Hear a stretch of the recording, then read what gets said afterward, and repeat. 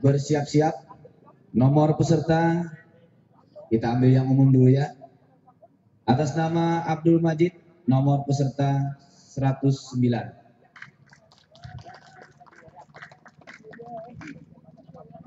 Abdul Majid, nomor peserta 109 dipersilakan.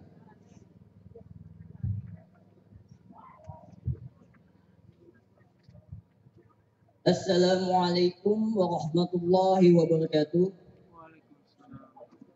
Alhamdulillahirabbil alamin. Assalatu wassalamu ala asyrafil anbiya'i wal mursalin wa ala alihi wa sahbihi ajmain amma ba'du. Sebagai hamba Allah yang beriman, marilah kita panjatkan puji dan rasa syukur kita kepada hadirat Allah Subhanahu wa taala yang telah melimpahkan rahmat, taufik dan hidayahnya sehingga kita dapat berkumpul di tempat yang mulia ini dalam keadaan sehat dan walafiat. Yang terhormat para juri yang adil bagi bijaksana dan para panitia serta para hadirin dan hadirat yang dirahmati Allah. Para hadirin dan hadirat rahimahullah.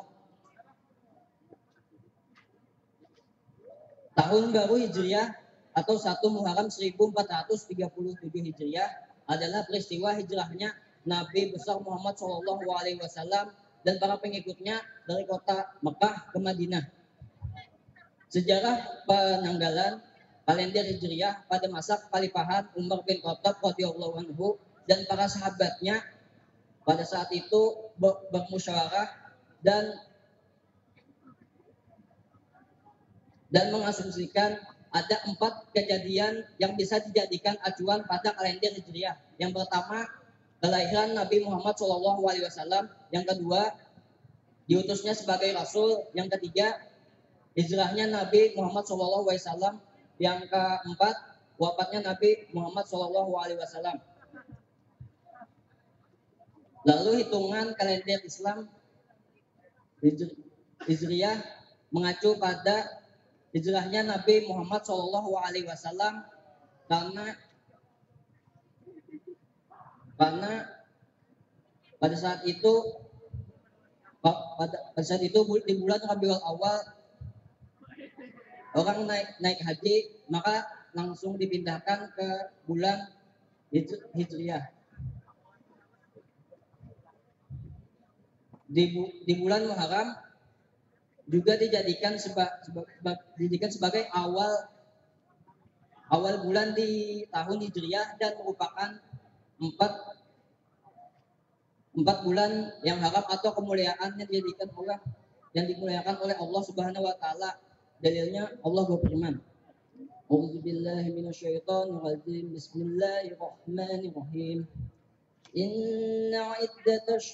Indallahi Inna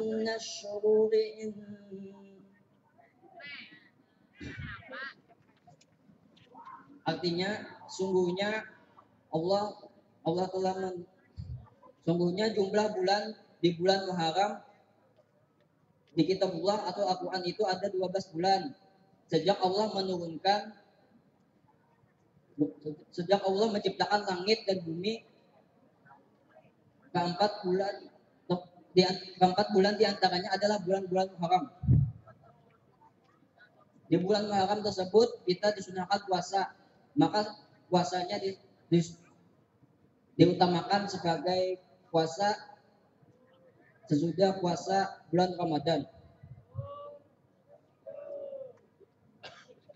Dari hadisnya dari Ibnu Abbas radhiyallahu anhu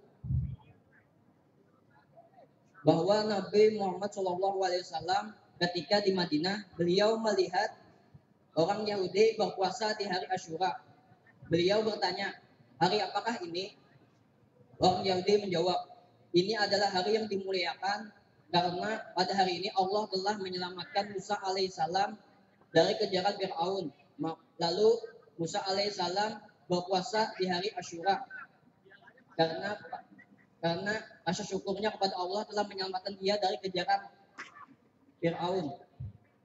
Lalu Rasulullah Shallallahu Alaihi Wasallam bersabda, saya lebih berhak mengikuti Musa alaihissalam daripada mereka. Maka beliau berpuasa dan memerintahkan umatnya untuk berpuasa pada hari tersebut. Hadis riwayat Bukhari. Walaupun ada kesamaan di antara puasa tersebut, tetapi Rasulullah SAW memerintahkan umatnya untuk berbeda dari orang Yahudi. Maka Rasulullah SAW menyarankan agar umatnya berpuasa di hari, di hari Asyura sebelum dan sesudah di hari Asyura, yaitu 9 Muharram atau disebut juga hari puasa Tasura dan 10 Muharram disebut juga Asyura dan 11 Muharram sebagai tanda kehati-hatian apabila awal di bulan Muharram tersebut apabila ada keliruan, keliruan penanggalan di bulan Muharram tersebut. Rasulullah Shallallahu Alaihi Wasallam bersabda, maka apabila tahun depan ada, insya Allah kita berpuasa pada 9 Muharram tersebut. Akan tetapi beliau wafat pada tahun tersebut. Hadis hadis hadis riwayat Muslim. Keutamaan di bulan Muharram banyak sekali, tapi saya saya akan, saya akan memberita, memberitakan hanya satu, yaitu Rasulullah Shallallahu Alaihi Wasallam bersabda, puasa di, di hari Asura, di hari Asura menghilangkan dosa dosa kecil pada tahun yang lalu. Hadis riwayat Muslim. Ya ini saja yang dapat saya sampaikan. Maaf apabila ada kata-kata yang kurang berkenan di hati para hadirin sekalian. Akhirul kalam Subhanallah wa bihamdika asyhadu an la ilaha anta astaghfiruka wa atubu ilaik. Wassalamualaikum warahmatullahi wabarakatuh. Ya, tepuk tangan buat Abdul Majid.